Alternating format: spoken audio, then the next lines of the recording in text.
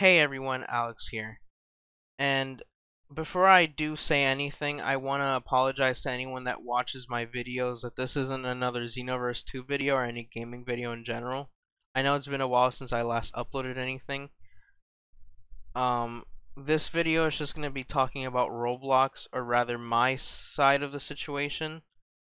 Because about a month ago, I watched a video from Visual Ventures, and it's basically talking about how Roblox is corrupted and they don't care for people. I also read the comments on that video, and they have it's just people sharing their side or agreeing about how Roblox has just changed for the worse, which I also agree. I have went on a couple of Roblox clubs, like those dance clubs, because I mostly, you know, I like spending my time in there. I like chilling with people. If they're fine with me, I'm fine with them. I don't mind. As long as you don't talk shit about me, which I'm pretty sure a few people do talk shit about me, fuck him. But as long as you don't do that, I won't do that.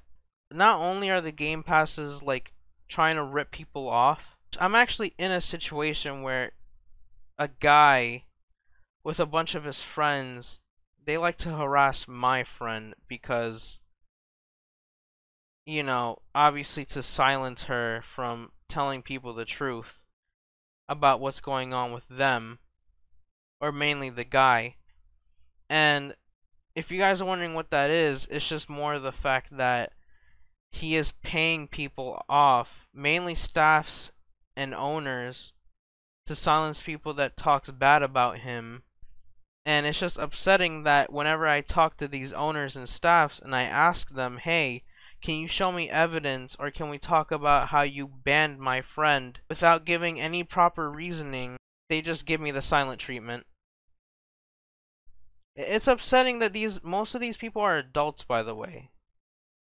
And they don't want to tell me all of this because they know that they're in the wrong and they know that I'm going to actually like chew them out for it we barely do anything. It's just the fact that people like following a specific person or specific group because either they're afraid, they're blind, or they only care about their money, which explains why they start paying off the owners and the staffs. I just wanted to get this out of the way because I know there have been a lot of people that have dealt with situations like this and their stories have not been told yet, but I know they also want to share their side of the story. Apparently, money talks now because of how the internet is and how people just want money. I know we all been hit by the pandemic, but like, you know, I didn't think money was this badly to the point in which the owners and servers start being so corrupted. Sadly, Roblox cares about money and they won't do anything to purge these servers because they just don't care. Oh, but but it's petty drama and you're adding too much to it and yet here I am trying to give my side, and obviously either people will not listen or those guys will try to shut me up for it, which won't happen. And money does talk, but money is temporary too. Please comment, like, and subscribe if you want. I appreciate it. Give the support. Share this out to anyone who does want to share their side in the comment section or give their thoughts on what they thought about what I said. This is the Real Your Boy Alex 11, and I sign out. See you guys.